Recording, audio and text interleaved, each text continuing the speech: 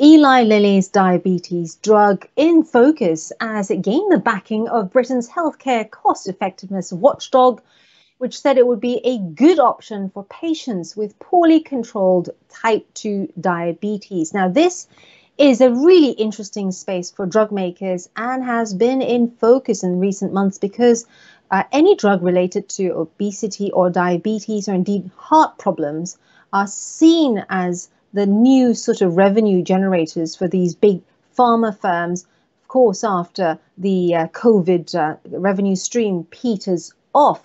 What's also interesting about this drug uh, that is uh, being marketed by Eli Lilly is that it has the potential to treat uh, obesity. Now, some 180,000 people uh, could benefit from this new treatment in the UK, and Diabetes UK alone estimates that more than 5 million people in the UK are living with diabetes. So, what's the next key date to look out for? Well, final guidance, which is uh, scheduled to be published on October 11th, uh, might mean whether or not we'll find out whether or not this drug will be made available in the UK's National Health Service uh, within 90 days after that.